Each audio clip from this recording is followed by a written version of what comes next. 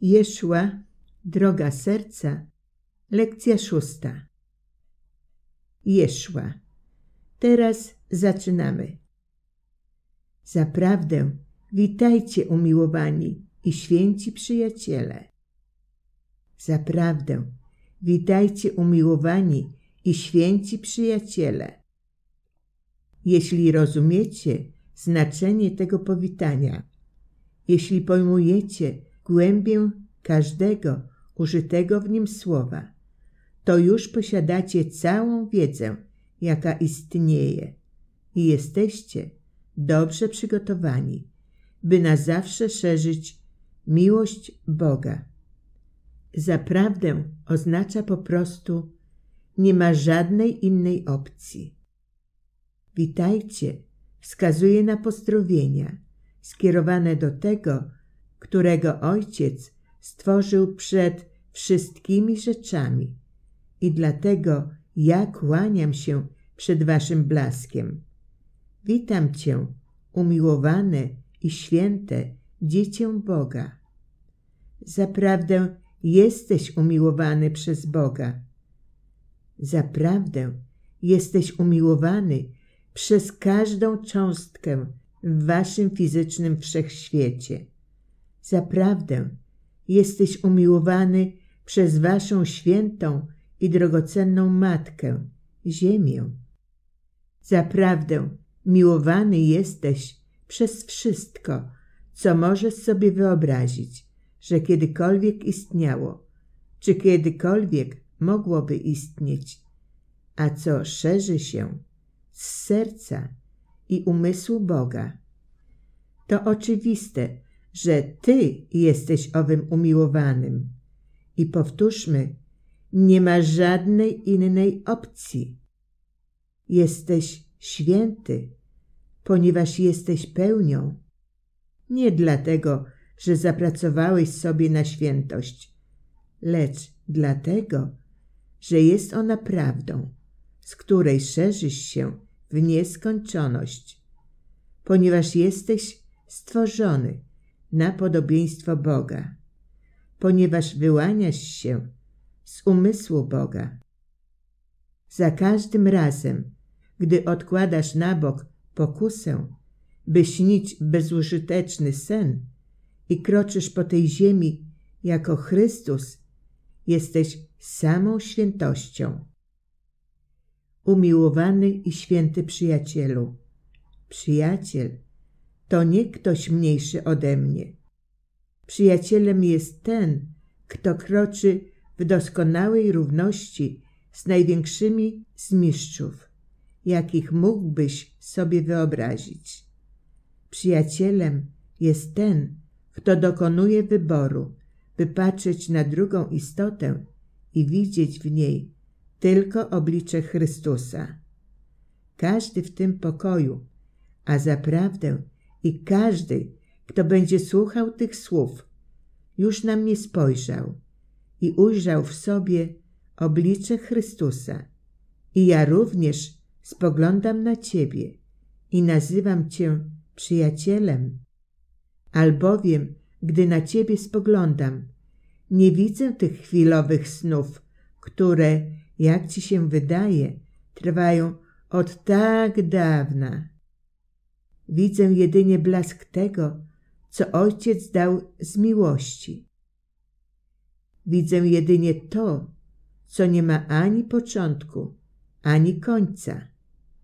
I widzę jedynie to, co nie zna ani narodzin, ani śmierci. Widzę jedynie to, co nie ma żadnych ograniczeń. Widzę jedynie to, co jest światłem, szerzącym się na wszystkie wymiary i wszystkie wszechświaty. Widzę jedynie mego brata i mą siostrę i nie widzę ani śladu nierówności między nami. Jednak oczywiście rozpoznaję, że w Twym śnie wydaje Ci się, że trochę Cię wyprzedziłem i czasami w Twym sercu pojawia się tęsknota, by za mną podążać. jeśli tylko zechcesz baczyć na tę tęsknotę, jeśli w każdej chwili będzie ona Twą główną tęsknotą, wówczas Twe własne pragnienie przyprowadzi Cię w pełni tam, gdzie ja jestem. I będziesz się śmiał, gdy odkryjesz, że nie przemieściłeś się ani o centymetr, że tam, gdzie ja jestem, Ty również jesteś, a jesteś w wieczności, nie w czasie. Jesteś w miejscu Twych narodzin, czyli w umyśle Boga. Tylko to jest prawdą i jest to prawdą na zawsze. Jest to jedyna rzeczywistość, jaka autentycznie należy do Ciebie. Dlatego też zaprawdę nazywam Cię przyjacielem, albowiem widzę dobrze, że jesteś taki jak ja. Dlatego też zaprawdę witam Was, umiłowani i święci przyjaciele. Na tym możemy się zatrzymać. Nie ma nic innego do powiedzenia. Jednak umysł pędzi, czyż nie? Pędzi z tej waszej rzeczywistości, którą właśnie opisałem. Umysł pędzi z tego źródła niczym promień ze słońca. Jednak w rzeczywistości nigdy nie opuszcza swego źródła. Ta sama moc, która wydaje się rozpraszać cię chwilową myślą o lęku, jest tą samą mocą, dzięki której przebudzisz się, odpowiadając na własne wezwanie. W rzeczywistości jest w tobie miejsce, które już zna, ów dzień i godzinę. Ty już wiesz, kiedy zdecydujesz się wprowadzić w życie ową decyzję, aby być przebudzonym w Bogu, aby być jedynie obecnością miłości. Miłość wszystko obejmuje, na wszystko przyzwala, wszystkiemu ufa i dlatego też wszystko przekracza. Miłość nigdy nie jest zaborcza. Miłość nigdy się nie lęka. Miłość jest po prostu miłością.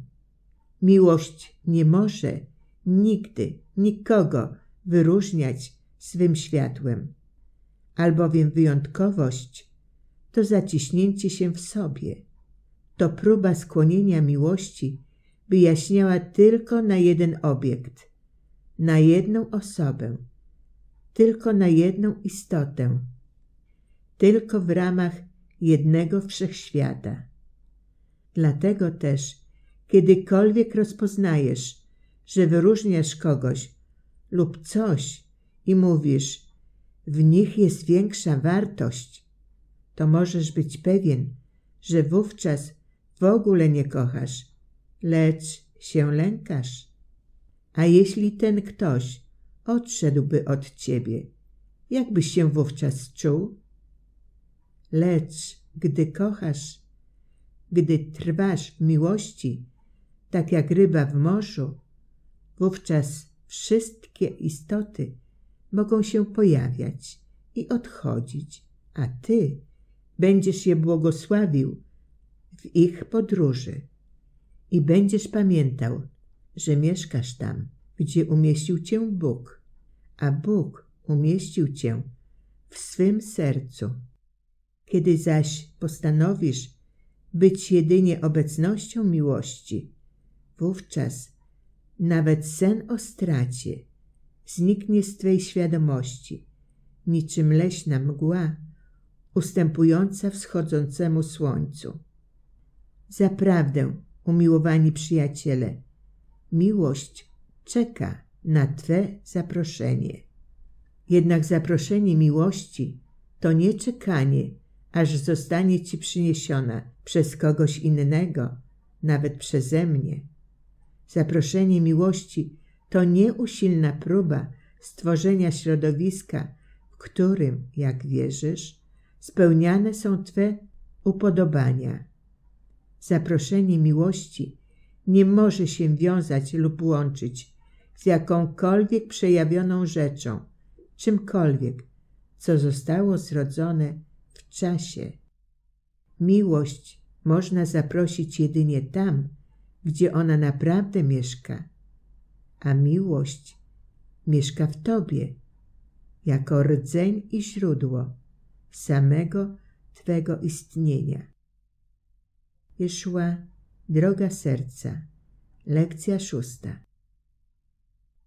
Daniel, z okazji świąt Bożego Narodzenia, z całego serca życzę Tobie oraz Twoim bliskim i przyjaciołom, również sobie, pełnego zrozumienia znaczenia tych świąt, a ponad wszystko osiągnięcia celu, którego przyczyną było przyjście na ten świat Marii oraz Jezusa, by uświadomić nas, kim jesteśmy i co możemy osiągnąć, a więc co jest naszym celem najwyższym tu na ziemi. Ale życzę również zdrowia, szczęścia, spełnienia najgłębszych pragnień serca, wzbudzonych przez najgłębszą kosmiczną mądrość, miłość, dobro. O ile nasz kanał przedstawia dla Ciebie wartość, to pamiętaj proszę o subskrypcji, łapce w górę, dzwoneczku, komentarzu, którym wystarczy uśmiech. To dla Ciebie niewiele, a pomoże nam w zwiększeniu zasięgów. Jeśli zechcesz bardziej się dołożyć do rozwoju kanału, to wystarczy polecać go znajomym. W ten sposób staniesz się współtwórcą.